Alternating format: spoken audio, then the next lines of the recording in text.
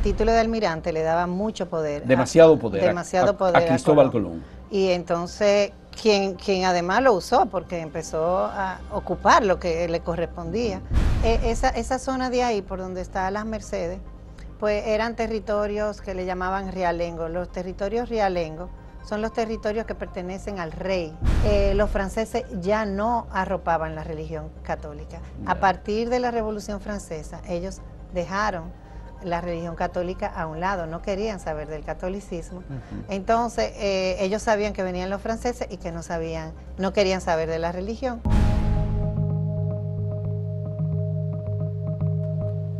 La publicación del libro Santo Domingo entre muros de varios autores nos ha permitido adentrarnos en el conocimiento de la conformación de la ciudad de Santo Domingo. Hemos hablado con varios autores ya de Santo Domingo entre muros y hoy vamos a tener la oportunidad de conversar con Virginia Flores Virginia es doctora, arquitecta, historiadora, eh, maestra en construcción de monumentos y bienes culturales, es docente, ensayista eh, de la carrera de investigación nacional, de investigación, es vicerrectora de la Pontificia Universidad Católica Madre y Maestra y también pertenece a la Academia Dominicana de la Historia. Ella es la autora de un ensayo que se llama Diseminar la Fe, la Iglesia y la organización del territorio.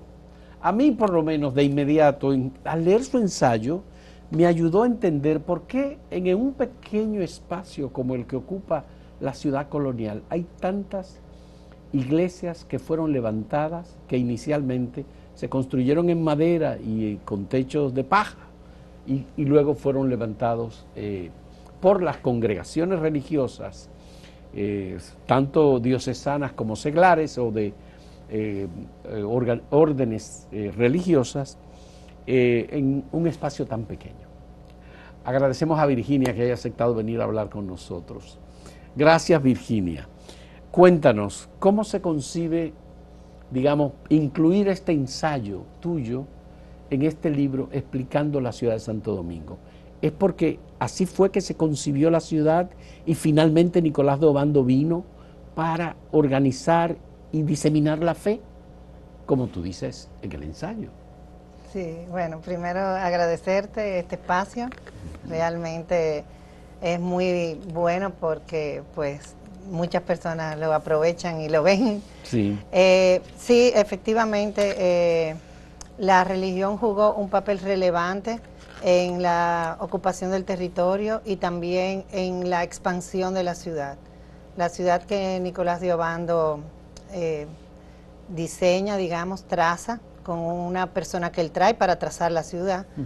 Eh, Cuando él vino, la ciudad estaba en el lado oriental. Sí. Era la ciudad que se había fundado. Sí a la llegada desde la zona de la fundación de la Isabel. Exactamente, y ahí es que llegan los barcos con él, y él, y él se hospeda ahí en las casitas que habían.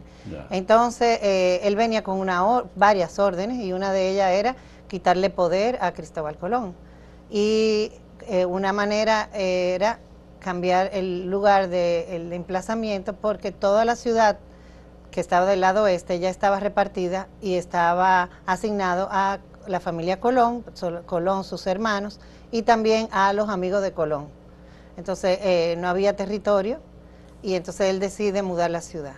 Y trae a un Alarife, que era el encargado de trazar. Entonces la traza a, eh, escuadra y cordel, como dicen, y ah, hace una ciudad pequeña, no muy grande, que es lo que llamamos ciudad de Obando.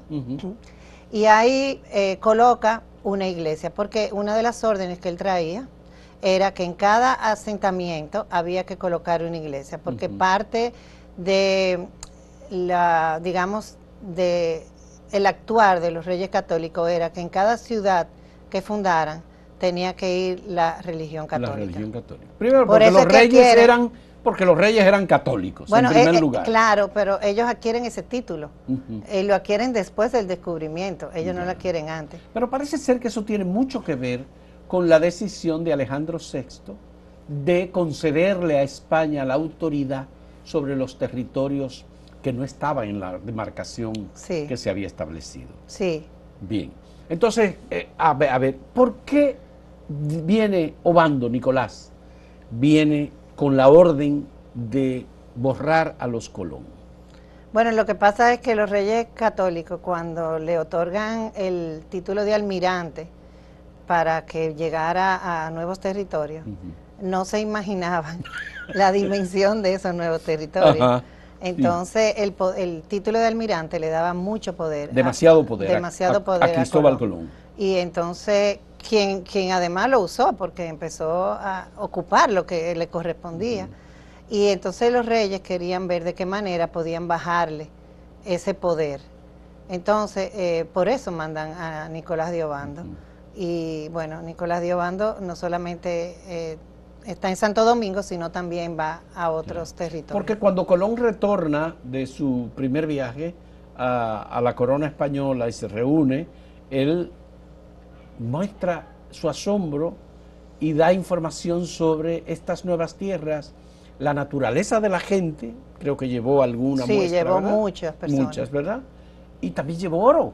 Sí. Porque hay llevó oro, llevó frutos que eran diferentes, aves, o sea, él llevó para que vieran lo que había, eh, porque eran unos territorios que no estaban ocupados por ninguna potencia europea, ningún ningún ningún reino conocido hasta el momento, porque ellos sí conocían Asia, conocían África, pero no conocían. Entonces, él le comenta, aquí hay unos territorios, no hay nadie, nadie, ninguna ningún eh, reino lo ha reclamado, vamos a reclamarlo nosotros. toda esa información aportada por Colón contribuye para que los reyes decidan echarlo a un lado.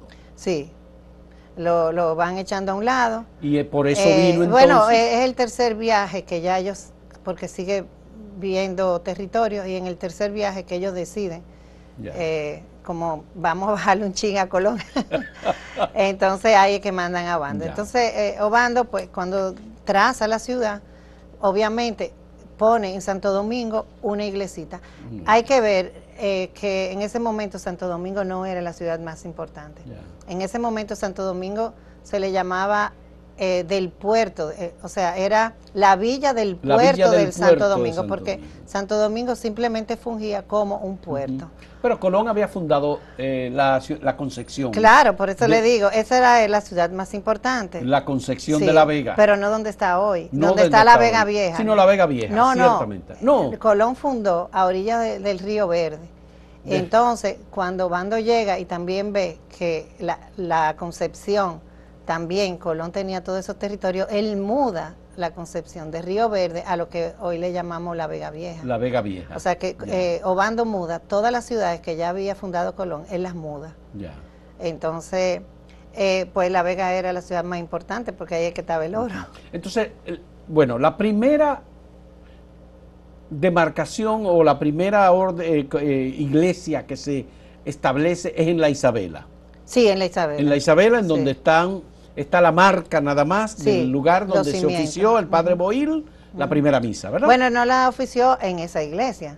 No la hizo en esa iglesia. No, él la Aquí hizo. Está, estamos viendo la, imagen. Este lugar, esto es en la Isabela, sí, es en, la Isabela. en Puerto Plata. Sí en ese lugar se celebró la primera misa. Sí, pero no en la iglesia porque la misa se celebró cuatro días después que ellos bajan del barco. Que ellos bajaron del en barco. En cuatro días no se hace una iglesia. Ya. Y menos de piedra. ya. Ellos tenían, eh, ellos traían en el barco una tienda de campaña para decir misa. O sea, había una tienda específica para dar misa. Para dar misa. y ellos traían, está en el documento, en el archivo de India, eh, lo encontré el documento y lo hemos eh, presentado. Qué bien. La otra, el segundo lugar donde se estableció un centro como religioso es del lado oriental del río Osama, de la ciudad, de la hoy ciudad de Santo Domingo. Ahí se estableció la capilla del Rosario. Sí. Que también era en madera. Fue en madera. Sí. Ese es el segundo lugar que se establece. Sí, eh, no, no. En La Vega también se hizo una Ah, en La Vega se hizo uno también. Sí, pero lo que pasa es que esas primeras iglesias, eh, pues no quedan restos de la que quedan. Ningún resto. no, eran en madera. La madera, pues, eh, no era, eh, la hacían en madera. Algunas se quedaron por muchos años, pero luego, desde que mejoraba la situación económica, pues las hacían en piedra o desde que había oportunidad la hacían en piedra. Y en el caso de Obando y el traslado de la ciudad hacia el lado occidental, ¿hay eh, información sobre cuál es la primera iglesia que se establece? Sí, él em, hace como divide el terreno y empieza a repartir solares y ubica dónde va, dónde va a ir cada cosa, dónde va a ir eh, la audiencia, dónde va a ir las casas de él, donde él le da también territorio a sus amigos que vienen con él en, el, en su armada, en su, en su flota, y, luego él en la plaza, diseña la plaza, la que es hoy el Parque Colón. El Parque Colón. Y ahí en una esquinita da un pequeño solar para colocar ahí una iglesia, una iglesita, como en todas las ciudades. Todas las ciudades tenían una iglesita que daba a la plaza. ¿Qué pasa? Que ese no era el centro de la villa. Bueno, más o menos, porque él, la, diseña, digamos, eh, y coloca, bueno, ahí cerca la fortaleza también, o sea, él lo va dividiendo y pone la iglesita. Esa iglesia se hace para darle apoyo espiritual a los cristianos. En ese momento no había comenzado la evangelización. La evangelización no había comenzado. Era solamente para que los eh, cristianos, los españoles, los españoles fueran a misa y tuvieran ese acompañamiento. Entonces, da la casualidad que años después, porque estamos hablando que eso sucede en 1502, pero en 1511, eh, nueve años después, eh, el, rey, los reyes consiguen, bueno, ahí estaba el rey, consigue que le, le hagan un, un obispado y obviamente al conseguir el obispado, eh, esa iglesita se convierte automáticamente en catedral.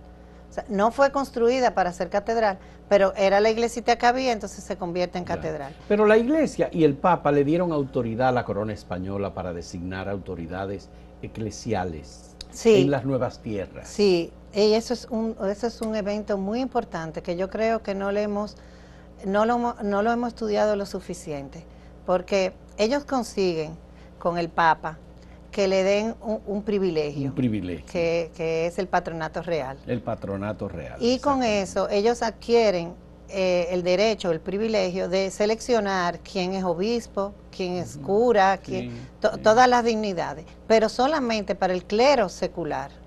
Ellos no se pueden meter con las órdenes religiosas. Ellos solamente pueden elegir las personas que van a la diócesis. Y ese detalle es muy importante porque eh, es el clero secular el que cobra los impuestos y el, el diezmo. las órdenes religiosas no cobraban diezmo. Pero además... Eh, con las autoridades españolas tienen autoridad sobre el clero secular. Secular. El clero religioso, que son las congregaciones, la orden, de los predicadores, los dominicos. Exactamente. Y los, mercedarios. Los mercedarios. Esos son los que vinieron aquí. Los, que, los primeros que llegaron, ¿verdad? Bien, entonces... Y los franciscanos. Y los franciscanos, estos vienen a trabajar con diferentes áreas eh, de evangelización. Exactamente. Pero ellos no tienen autoridad frente a la autoridad local. No. Política. Sí, por eso es que son las órdenes religiosas, específicamente los dominicos, los que se quejan cuando hay un abuso con los indígenas. el, clero secular no lo hace porque depende de la corona. Yo no voy a criticar a mi jefe, pero las órdenes religiosas no dependían del rey, entonces critican el actuar, critican los abusos que se están cometiendo con los indígenas, que es el famoso sermón de Montesino. El de Fray Antón de Montesino. Que hay más, que hay más, porque son varias eh, voces pero el, de Fray Antón de Montesino, Fray Antonio Montesino, es el que, el que más sonado. El que levanta su voz. El que levanta la voz. En el sermón de Adviento. Exactamente. Eh, pero está detrás de él Fray Pedro de Córdoba. Sí, no, hay grandes en ese momento. y yo creo que Fray Pedro de Córdoba es más potente todavía que Antón de Antonio Montesino. Yo, claro, eh, lo que pasa es que Antonio de Montesino yo creo que era uno de los más jóvenes y le dicen, todos, yo creo que ahí todos los dominicos que estaban, que vino, la primer grupo que vino son de gente extraordinaria, eso después podemos comenzar un día sobre los dominicos. Sí. Eh, ellos eh, todos escriben, se quejan y entonces le dicen a Antonio, Antón de Montesino, léelo tú. y él lee el sermón. Eh, o sea, lo que pasa es que al leerlo él, pues entonces se le atribuye, se le atribuye a, él. Y realmente Pero es de la congregación. Sí, es la congregación entera que lo escribe, porque eh, eh, los dominicos siempre han sido personas extraordinarias. los predicadores. Claro, con un conocimiento, son los que traen la universidad, o sea, tienen un intelecto increíble. y entonces ellos, inclusive Antonio de Montesino, que es una figura muy bonita para estudiar también, su trabajo aquí, eh, es el que tiene como la relación con la corona siempre. Él es el que da siempre la cara. En varios documentos que he leído en Archivos de India, eh, casi todos está Antón de Montesino como el que da la cara, es el que se reúne con las autoridades, con la corona, eh, inclusive viaja a España varias veces. Él va, a España y trae la traza. o sea, los planos del convento, contrata a la gente, trae ladrillo, o sea, pero no es la principal autoridad de la congregación, de la orden de los predicadores. No, pero es, por eso le digo que es el que utiliza la orden como, ok, tu encargo va a ser las relaciones con la corona. Bien, entonces esa relación entre el clero regular y el clero secular, ¿es una relación que la iglesia puede administrar correctamente? Eh, lo que pasa es que, como le digo, el clero secular dependía del rey y el clero regular de cada una de sus órdenes religiosas. O sea, quien manda a los dominicos es el prior que está en España. inclusive estaba en, Salamanca. Salamanca, provincia eclesiástica. Finalmente luego se hace una provincia aquí para eh, para las Indias. Para las Indias. Sí. Cada una de las órdenes. Entonces, ¿qué hacen? El, el rey necesitaba las órdenes religiosas porque el personal que viene no es suficiente para todas las personas que hay. Entonces ellos cogen y, ponen a los franciscanos, a cada una de las órdenes le da una responsabilidad. Una responsabilidad. A los franciscanos le da el cuidado de los indígenas. Sobre todo ellos trabajan mucho con eh, los hijos de los caciques y, y, los franciscanos tenían por su vocación y tenían una, un voto de pobreza, pero también tenían consultorio. El primer consultorio médico, eh, lo tenían ellos. Y entonces le encargan la salud. Los, eh, Pero además los franciscanos buscaron el lugar más alto de la ciudad para establecer su convento. convento. Sí, buscando salud. Buscando salud, por un lado, pero además porque ellos tienen la idea de que mientras más altos estén, más cerca están de Dios. De Dios, exactamente. ¿Verdad? Claro. Bien, ok. Eso es con los franciscanos. Por eso el convento de los dominicos, el convento de San Francisco, perdón, está en una zona muy alta. Muy alta, la más alta, de, la ciudad colonial. de la ciudad colonial. Esa es la explicación. Sí. Bien. Y no fueron los primeros que llegaron. Sí, son los primeros ¿Son que los llegan. Primeros? Son los primeros que llegan. Bien. Porque ellos llegan, eh, los dominicos, llegan con Obando. En el misma flota de Obando llega el primer grupo de dominicos a instalarse. ¿Por qué? Porque los eh, el, cardenal Cisnero, que era muy allegado a la corona, a la corona sí. y el grupo del cardenal Cisnero eran franciscanos. Entonces la reina estaba muy ligada a los franciscanos, aunque entonces cuando ella manda a Obando, manda a los franciscanos. Entonces, años después, los dominicos piden también eh, permiso, porque para venir a América había que venir con, permiso, es como una visa. Sí, sí, con una autorización. Sí, entonces le otorga para establecerse. Para establecerse. Entonces los dominicos consiguen ese permiso en 1508 y llegan en 1510 en lo que preparan el viaje, porque el viaje se tardaba mucho, eso no es, me dan la visa y me voy mañana. Entonces a ellos ya cuando llegan, el, todo el terreno estaba repartido. Y entonces estaba en ese momento como gobernador Diego Colón, que era virrey.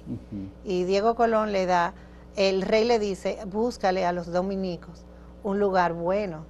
Entonces eh, Colón le da ese, Diego Colón, le da ese territorio que estaba, el territorio llegaba hasta orillas del mar, toda esa área de ahí, porque ahí tenían huertos. eh, no era solo la iglesia. Al parecer era también una comunidad en la que había eh, comunidades aborígenes establecidas, sí, con agricultura. Sí, toda la ciudad colonial que tenemos hoy eh, había asentamientos. Asentamientos. Entonces, pues lo colocan ahí y le ponen la responsabilidad de la educación. De la educación. Entonces ellos empiezan a educar a, los hijos de españoles, pero también educaban a los indígenas. A los hijos de los ah, eh, De los caciques, eh, le enseñaban a leer, pero le enseñaban a leer para que pudieran leer la Biblia, porque ellos predicaban y para predicar necesitaban leer la Biblia. Entonces le enseñaban a leer, a escribir y luego traen la universidad. Y, por Ahí se da también el, tema de la inculturación de alguna manera de Enriquillo, ¿no? Sí, claro. con ellos. Con ellos, sí. Ya. Bien, Virginia, vamos a hacer una primera pausa. Sí. Y cuando retornemos, a mí me gustaría que tú me explicaras luego lo del establecimiento de tantos centros. Ok, además de la catedral, que se inició en 1521, luego todas las iglesias que hay, la iglesia de las Mercedes, la iglesia de la Altagracia, Santa Bárbara, la iglesia del Carmen, todas esas que están, unas tan cerca de la otra.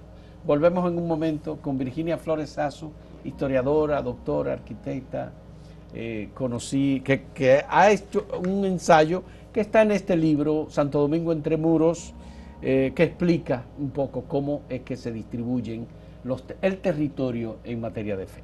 Volvemos.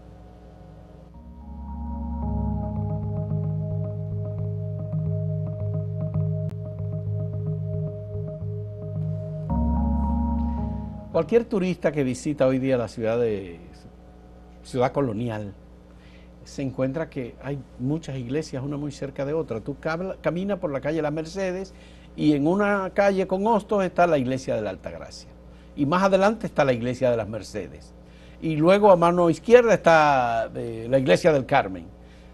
Cerca está la catedral. Entonces, explícame por qué es que el territorio se distribuye en un espacio tan pequeño con tantas iglesias importantes. Yo sé que la de Santa Bárbara es la última que se establece porque esa es la de los eh, marineros y gente pobre, un poco al margen de la ciudad, que se va levantando y finalmente se convierte en una iglesia más relevante. Cuéntame, Virginia.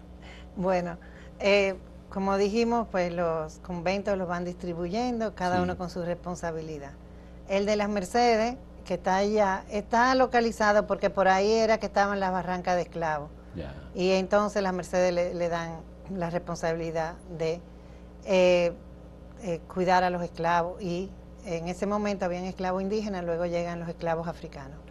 Pero eh, entonces... cuando hablamos de lo de las Mercedes, estamos hablando la barranca de los esclavos. Sí, habían esclavos. Que, ¿Pero eran esclavos indígenas o eran esclavos negros? No, porque primero son esclavos indígenas y, luego, y luego llegan los esclavos negros. Ya, es decir, estos son esclavos aborígenes, nativos. Sí, nativos. Nativos. Ajá. Entonces, e, esa, esa zona de ahí, por donde está las Mercedes, pues eran territorios que le llamaban realengo. Los territorios realengo son los territorios que pertenecen al rey no es como despectivamente nosotros usamos aquí de un perrito realengo.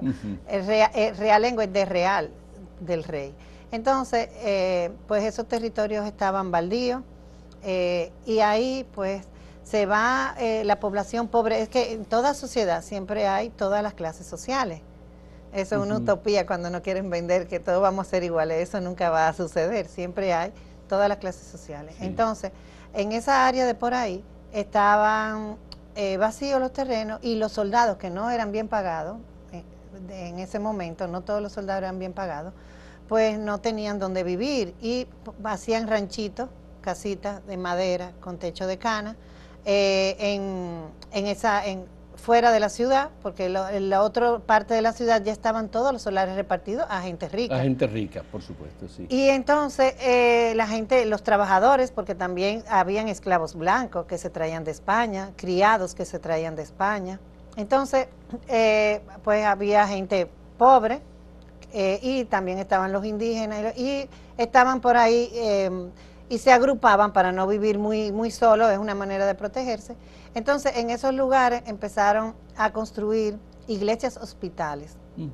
¿Por qué son iglesias hospitales? Porque tenían un cuartito, una sala donde tenían dos, tres, cuatro camas, dependiendo, eh, para cuidar a los enfermos, porque por, e, la gente se enferma. Entonces, eh, en ese momento las eh, lo encontraban muy lejos de, San Lázaro, por ejemplo, a, la, a, la, catedral, que era el centro, pues había hay una distancia. Entonces, pues le dejaban ahí esa pequeña iglesita para seguir, obviamente, cobrando el diezmo, aunque fueran pobres, controlando a la población, era una manera de controlar a la población, ahí se enteraban de todo, tienen una iglesia y ponían un consultorio. Así crearon San Miguel también, que ahí había un barrio de gente y pusieron una iglesia. la parte más arriba. Sí. sí. Y, la misma iglesia de San Andrés, que está al lado del hospital Padre Villini, y luego hacen también la iglesia del Carmen. La iglesia del Carmen. Sí, entonces van colocando eh, por ejemplo, alrededor de la iglesia del Carmen vivían varios soldados con sus esposas y vivían también labradores en los documentos. Y los labradores preferían vivir ahí porque ellos tenían que salir un poquito lejos, por lo que hoy es, eh, después de San Gil, esa zona de por ahí, era elegido. El fuerte San Gil por la puerta de la misericordia. Sí, por la puerta, de eh, eh, que era elegido, entonces ellos tenían que salir a labrar y tenían que salir también con, la, con las vacas y llevar a las vacas a comer, eh, llevar los animales a comer y los cerdos, todo. Y también labrar la tierra, porque había que alimentarse, alimentar la población. Entonces, esa gente que eran labradores, pues vivían, se agruparon. algunos le decían lanceros, porque los lanceros eran como los que buscaban los animales salvajes que estaban en, el, en las afueras de la ciudad. Y tenían esos eh, participaron más como combatientes contra los ingleses cuando los ingleses trataron de ocupar, creo que fue en 1655, con Penny eh, la, isla. Sí, pero, eh, los lanceros también eran soldados. Eran soldados también. Y eran gente muy valiosa, sobre todo los lanzajinetes que se llaman. Ya. Eran hidalgos. Hidalgos. Sí, eran personas importantes. Eh, lo que pasa es que luego, pues sí, la persona que, cuidaba el ganado muchas veces pues tenía un caballo eh, y, iba a, eh, con lanzas a, de, bueno, defender y cuidar el, ganado, que era muy, muy apreciado, sobre todo por los piratas. y como bien dice, pues son todo el mundo pues fue a defender eh, cada vez que venía un pirata, todo el mundo se ponía. Aquí tenemos una imagen del, fuerte de San Gil. Sí. Bien, entonces, eh, Virginia, me interesa conocer, ¿no había conflicto por los feligreses entre las congregaciones religiosas? No, no, no creo que había conflicto. Cada grupo, cada persona, los feligreses, pues eh, tenían su preferencia. Eh, algunos preferían los dominicos, otros preferían los franciscanos, eh, sus relaciones también. Vemos también cómo la gente rica pues donaba dinero a esas congregaciones y pedía luego que los enterraran dentro de la iglesia, que eso era un lujo. Ese era un lujo también. Eh, Por eso hay muchos enterrados en la catedral. Sí, autoridades, autoridades. Eh, religiosos y personas importantes, personas importantes en diferentes épocas de la vida, porque todavía en el siglo XX, sí, era un lujo, era un privilegio, porque eh, no había cementerio. Entonces, bueno, pues e, era un privilegio poder estar enterrado dentro. Bueno, en la catedral estuvo la versión de los restos de Cristóbal Colón durante un largo tiempo. Sí, en que, la catedral que, fue momentáneo que se puso. ¿eh? Eh, ¿Eh? Los restos de Colón, ese monumento, no iba para la catedral, iba para el convento de los jesuitas, que hoy es el Panteón. El Panteón Nacional. Entonces lo pusieron mientras tanto, el convento estaba en muy mal estado, el, eh, el Panteón estaba en muy mal estado, entonces lo pusieron en la catedral mientras tanto y duró 100 años. lo mientras tanto de nosotros. Sí, sí. Bueno, pues las iglesias se construían no como las conocemos hoy. ¿Cómo eran las estructuras eh, de entonces de las iglesias? En este trabajo tú das algunas descripciones de cómo, cómo era que estaban construidas, los materiales, las dimensiones, etcétera. Sí, las iglesias obviamente cuando llegan, eh, pues no encuentran nada, llegan a mano pelada. como digo yo. Entonces, eh, lo, que abundaba mucho en la isla, que todavía tenemos, es la madera. Entonces, lo más fácil era hacer una iglesia en madera, hacían una iglesia en madera y la techaban en cana, que era lo que se usaba también en España. En España, en muchos pueblos, techaban con paja porque no tienen cana. Nosotros tenemos cana, que es muy bueno. Entonces, hacían la iglesia y empezaban a dar misa, que era lo importante. Y a medida que iban consiguiendo dinero, iban construyendo su iglesia en ya en materiales, pero ellos querían que ya durara para toda la vida, entonces lo hacen en piedra. Eh, pero duran muchos años, algunas varios años, con su iglesia en madera. Eh, y bueno, van construyendo. En el caso de los de las órdenes religiosas, los franciscanos, los dominicos, los mercedarios, ellos necesitaban dinero, ellos, ellos vivían de la donación, digamos, porque eran órdenes mendicantes, mendicantes que eran mendigos, o sea, que viven de lo que le da la población. Entonces, pues a medida que conseguían dinero, iban eh, haciendo su iglesia y la iban construyendo. ¿Y eh, cómo? Sí. Que no pasa igual con la catedral, porque la catedral, al pertenecer al rey, el rey manda dinero, pero además pone una ley que parte del diezmo que se recolectaba había que darlo para la construcción de las iglesias. Pero la catedral se construyó en un tiempo rápido. Récord. Récord. Sí. Entre 1521 y 1539. 40. 40. Ajá. 40, 41. En 40, 41. Que la consagran en el 20 años. 20, años. Es el periodo de construcción de esa catedral. Claro, fue restaurada y ha sido... Sí, pero la que vemos es la que es, o sea, lo que se ha hecho muy poco. Eh, y, esa catedral la hacen muy rápido, pero es porque tenía dinero de la corona y dinero del diezmo. Sobre todo, ellos cobraban diezmo también del azúcar. Se le puso un impuesto al azúcar, a la cal, al ladrillo, al carbón, algunos alimentos y, ese impuesto era exclusivo para eh, hacer iglesias. Me dijiste que los jesuitas llegaron y no tenían lugar de establecerse, pero que finalmente les otorgaron ese lugar donde hoy se conoce como Panteón Nacional, pero que esa era la iglesia de los jesuitas. De los jesuitas. La Compañía de Jesús. Sí. Bien.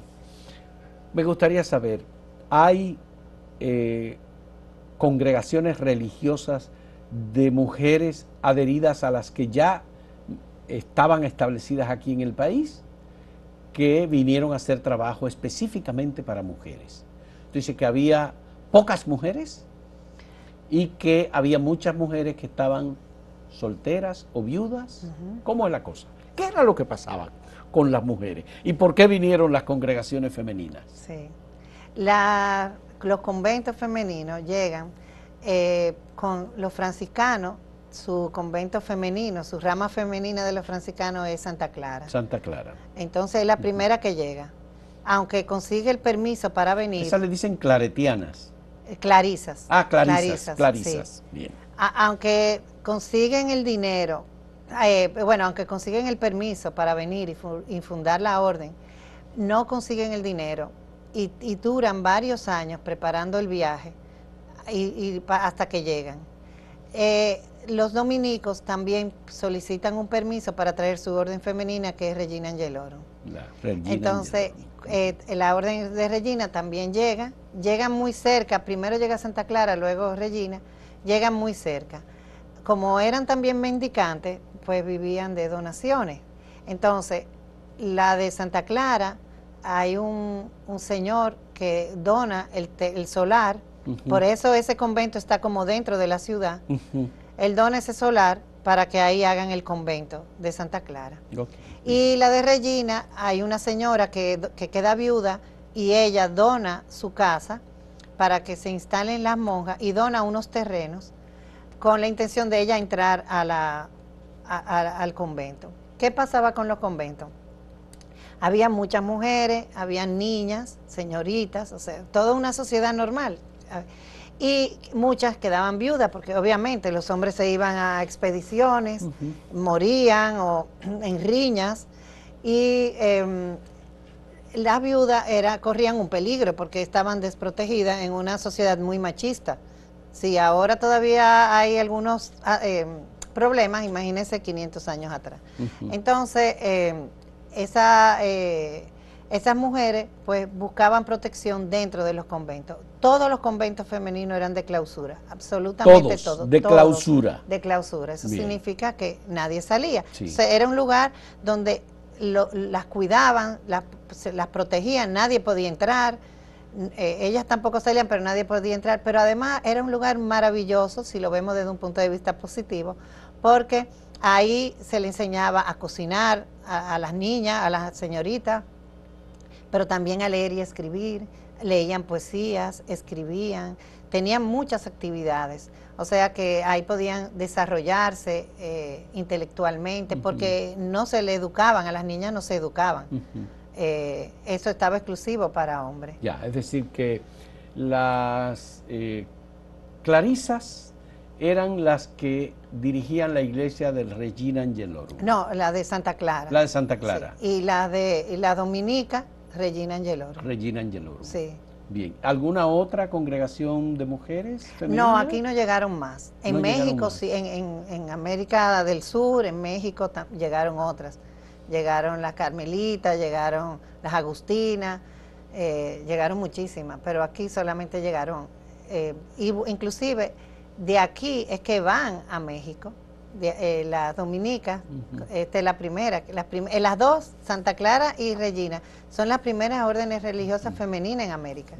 Y de aquí entonces van a, México, luego van a Perú y se van repartiendo, inclusive pues después llegan a Cuba, pero aquí, digamos, es el eje. De aquí salen. ¿Y el modelo arquitectónico que se adopta es un modelo traído desde España o es un modelo, digamos, que toma en cuenta los materiales usados localmente que se encuentran aquí, se utilizan, se adapta y hay algún tipo de creación, digamos, propia eh, nuestra en esta religiosidad eh, estructural eh, con edificaciones para la fe? Aquí tuvimos, bueno, digamos que aquí fuimos el laboratorio del ensayo. Eh, no hay presencia de mano de obra indígena como sucede en México o en Perú. Eh, o sea, de que hayan aportado, sí, trabajaron, pero trabajaban moviendo materiales, cargando cosas, pero no, porque nuestros indígenas no tenían el arte de la piedra, no trabajaban la cantería. José Guerrero dice, José G. Guerrero, que lo entrevisté y que hay un trabajo de él en este libro, él dice que la mayor parte de la mano de obra utilizada en las construcciones fueron, fue mano de obra aborigen. Sí, eso sí, pero digo que no hay un aporte de cantería porque ellos no sabían tallar. No sabían el... Entonces... ellos sí había una mano de obra. La técnica no la tenían. No, ellos sí era una mano de obra, pero una mano de obra, digamos, de peón, aunque habían algunos, había un, había un grupo de indígenas, eso es muy lindo ese tema porque también lo estoy trabajando, que, que era especialista, que sabía construir muy bien, pero ellos no tallaban, ellos simplemente movilizaban las piedras, preparaban la cal, el trabajo digamos más, más básico, eh, y era indígena, porque todavía no habían esclavos africanos. Eh, pero la, las monjas vinieron con su propio diseño, trajeron la traza de la arquitectura y iba de acuerdo a su, a su congregación. Por ejemplo, las monjas de Santa Clara eh, lo que eh, hablan de pobreza y sencillez. Y cuando uno entra a la iglesia de Santa Clara, pues va a ver lo sencilla que es, una iglesia muy sencilla, muy eh, básica no tiene grandes adornos, pero eso era lo que ellas predicaban, la pobreza, la sencillez. Cuando vamos a, Regina Angelorum es diferente. Los el convento de los dominicos eran muy intelectuales. De ahí inclusive sale eh, eh, eh, unas mujeres que escriben maravilloso. Hay unos libros que se considera la primera poeta en América. En América. Y bueno, pues la iglesia también es una iglesia más rica, decorada, es otro, otro tipo de, de, arquitectura y que, que, pues, presenta la iglesia. Cuando habla de primera poeta de América, que escribió aquí, poesía. Aquí poesía. Ya. ¿Y se 1500. 1500 aproximadamente. Bueno, ¿y qué diferencia hay? No, 1500 y tanto, ¿no? ¿Y qué diferencia hay entre una iglesia y una capilla? Sí. Cuando se, en esos primeros años. Porque una capilla es un lugar en donde va una persona que no está permanente, sino que va como delegado a dar misa un día a la semana. Sí. Em, la, la, iglesia estaba muy bien estructurada. Yo creo que sigue siendo muy bien estructurada. Entonces, ellos tenían de, diseños, dependiendo del número de habitantes a que le, a que le iba a servir esa, esa capilla o iglesia, se hacía la iglesia. O sea, si era para 50 personas, había un tamaño determinado. Si era para una ciudad de 3.000 personas, había un tamaño determinado. Entonces, cambiaba de acuerdo al tamaño de la población que le iba a dar servicio. Entonces, eh, si era un lugar pequeñito, por eso muchas comienzan como capilla, eh, eran simplemente un espacio chiquito, pequeño, porque era para tal vez 20, 30 personas. Se consideraba a los españoles que vivían en la ciudad, no se consideraba a los aborígenes entonces. No. Eh, es decir, estas iglesias fueron construidas para los españoles. Para los cristianos, porque ya muy rápidamente aquí hay una criollización, o sea, empiezan a nacer aquí hijos de españoles, pero también se empieza a ver una mezcla entre los indígenas y los españoles que se casaban, tenían hijos, o sin casarse también tenían hijos y los reconocían en, la familia, entonces eran hijos católicos, el español lo, lo convertía al catolicismo y eh, formaban parte de la sociedad. Entonces, era para exclusivo para ellos, no era para los, los esclavos, eh, no tenían ese acceso. O los aborígenes que, sí. Eh, que aún quedaban. Sí, quedaban mucho. Sí, vamos a volver con la última parte en este diálogo con Virginia Flores Sazo, historiadora, arquitecta, que forma parte de los autores de este libro, Santo Domingo entre Muros, patrocinado por la Embajada de España, el Ayuntamiento, del Distrito Nacional, la Fundación PALM y el Banco de Reservas. Volvemos en un momento.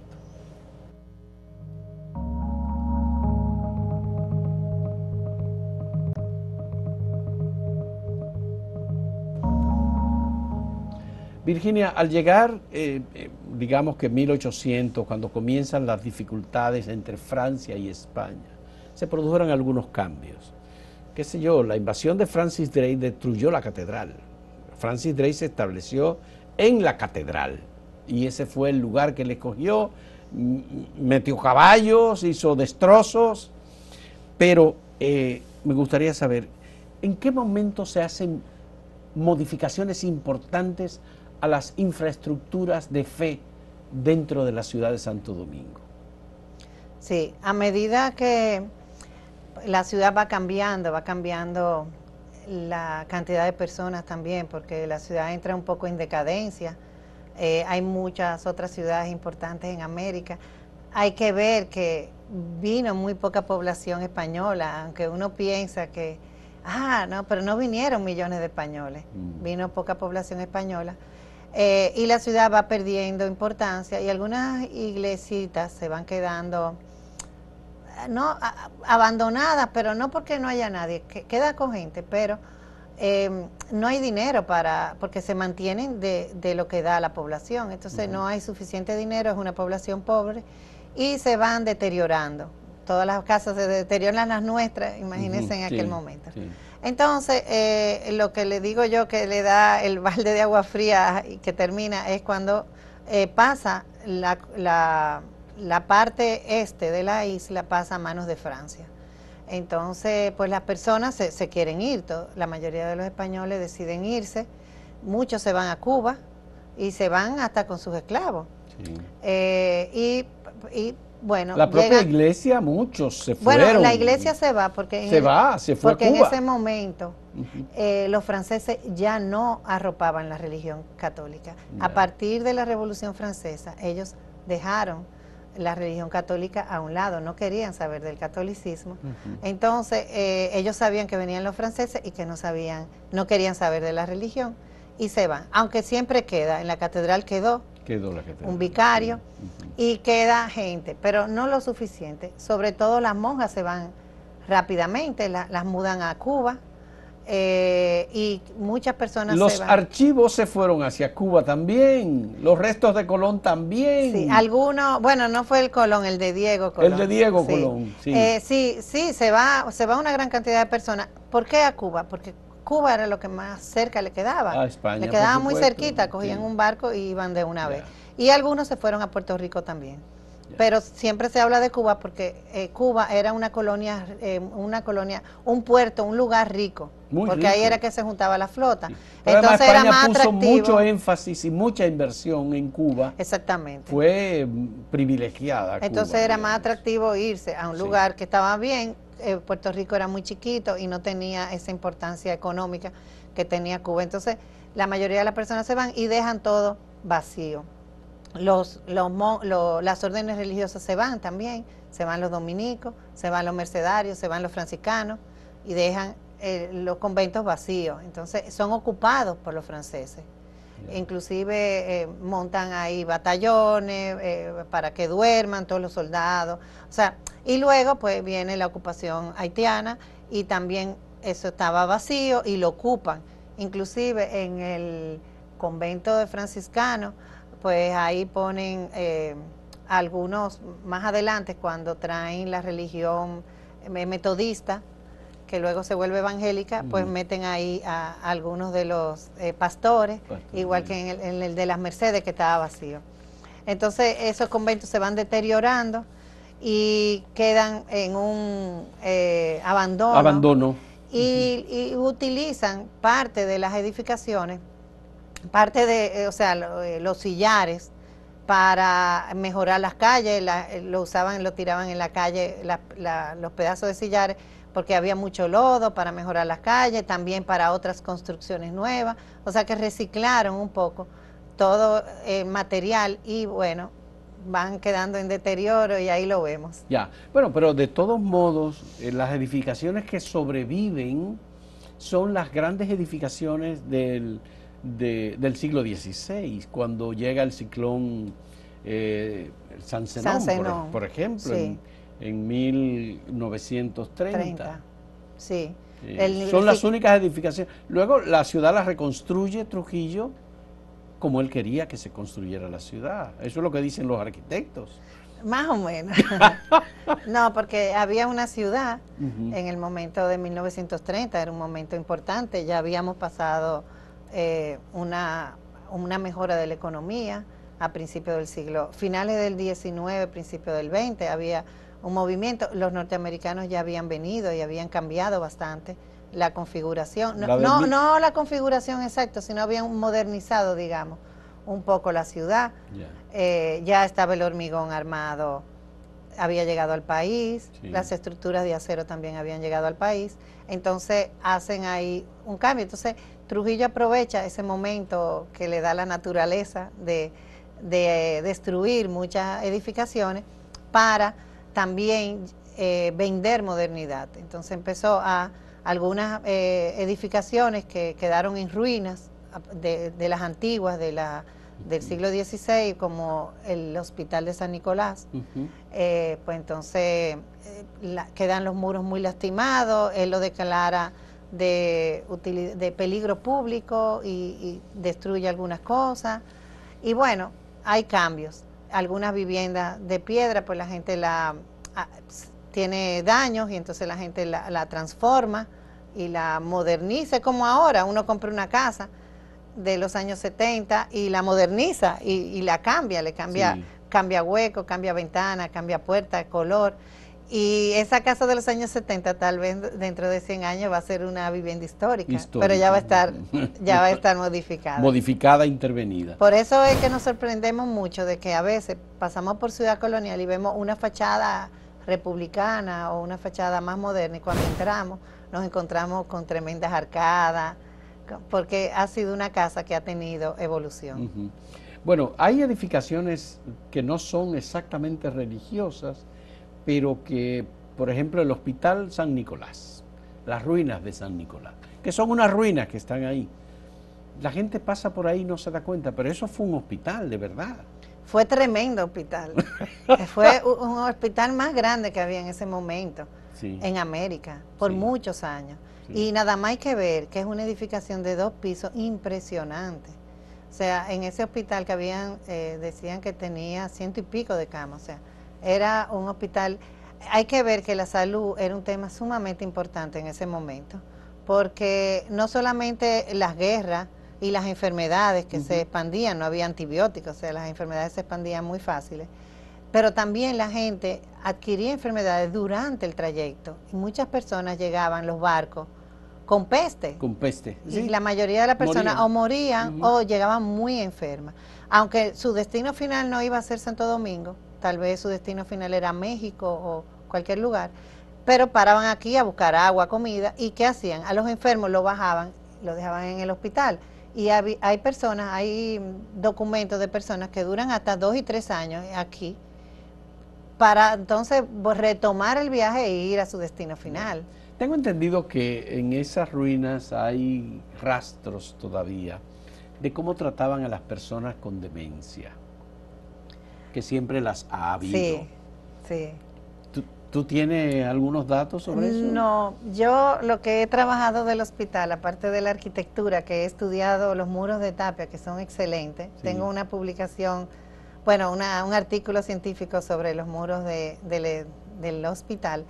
Eh, he trabajado los médicos que estaban aquí, eh, la, comida que se usaba como medicina, pero no he trabajado la parte de, los restos, por ejemplo, argollas que hay plantadas en el suelo, eran los encadenamientos a algunas de las personas con problemas de demencia. Sí, esa parte no la he trabajado. Ya, No, no puedo Hay un libro del padre José Luis Sáez. Sí, muy bueno. Sobre la historia de los hospitales en la antigua ciudad. Muy bueno. Y es un libro de referencia, por supuesto. Algo muy lindo es que, eh, por ejemplo, el médico había médicos, los médicos eran físicos, cirujanos, tenían su categoría. Ese es un tema muy bonito que tal vez también podemos hablar en otro momento, pero hay una figura que yo me río mucho y siempre le comento a mis hijos cuando estamos en broma, que se llama el charlatán.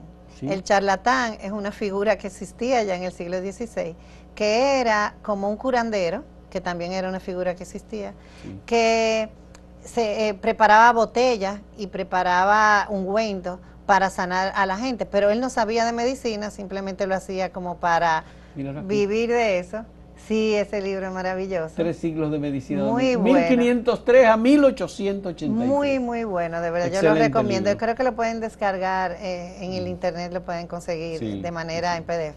Pues esa figura del charlatán pues era ese, el que iba diciendo que curaba el pecho, el pecho eh, apretado, el pecho que, apretado, que quitaba la gripe, que ponía, entonces eh, se llamaba así, el charlatán, no era, y llega hasta nuestros días, está en nuestro vocabulario. Está en nuestro Y uno, fíjese, uno lo usa para una persona que habla cuento, no lo ve tan, no es un despectivo, pero cuando uno le dice, tú eres un charlatán, es como, me va a venir con labia y me va, pero lo que me está diciendo sé que es mentira. Entonces es muy bonita, por eso digo que estudiar los hospitales, eh, pues es muy interesante. Como le dije, las iglesias hospitales, como era San Lázaro, San Miguel, o sea, todas tenían eh, esa condición. ¿Se puede decir que lo que tenemos hoy como ciudad colonial, con los templos religiosos tal y como están distribuidos, es un reflejo de lo que fue en 1520, 1540 la ciudad de entonces? No. No. No. La, ciudad tuvo, ha tenido como diferentes etapas. Sí. Eh, esa ciudad que vemos hoy, con todas esas iglesitas así expandidas, es de finales de 1500. Ok. Sí. Eh, por eso digo, hay muchas etapas. Eh, la, etapa de Nicolás de Obando es pequeñita, Diego Colón la amplía y luego pues eh, se sigue ampliando eh, a medida que va creciendo la ciudad y va tomando importancia. yo diría que a finales de 1500, 1570 por ahí. Y, entre, y entre Obando y Diego Colón, ¿quién hizo más la ciudad? Es que es que son diferentes. Yo, eh, Obando es que la traza, es, la, primera parte. Y Diego, Colón, la, continúa. La continúa. Pero, tiene, tiene la, la, suerte, Diego Colón, aunque su virreinato es corto, de que en el momento en el que él llega, ya está consolidada, digamos, la ciudad. Entonces vienen muchos, vamos a ponerlo con palabras actuales, mucha inversión. Entonces vienen muchos... Eh, eh, muchos españoles a, establecerse porque han visto que hay dinero. hay dinero. Y que esto no es un chin, es muy grande. Entonces, eh, le da esa oportunidad y, por eso yo digo que en la época de Diego Colón es que la ciudad crece. Y de una manera rica. Rica. O sea, ahí que se hacen las grandes casas. O sea, que es muy lindo. Virginia, muchas gracias. Muy, muy agradecido de tu explicación, de eh, este ensayo que es muy interesante. Yo lo los recomiendo muy enfáticamente. Santo Domingo entre muros es un libro maravilloso, memoria de una ciudad singular. Es una ciudad muy singular la que tenemos y a la que debemos adherirnos y tenemos que agradecer a los ancestros por lo que nos han dejado. Muy agradecido, Virginia. Muchas gracias por esta conversación. Amigos, muy agradecido también de ustedes por darle continuidad a estos diálogos que van a continuar porque tenemos más adelante, próximamente, a Cruz Apestegui, que habló sobre el sistema de embarcación y de navegación en la época de Colón, y también a Miguel Reyes Sánchez, que también va a venir sobre el tema de los gobiernos eh, en la administración de la época colonial. Muchas gracias. Muchas gracias. Hasta luego.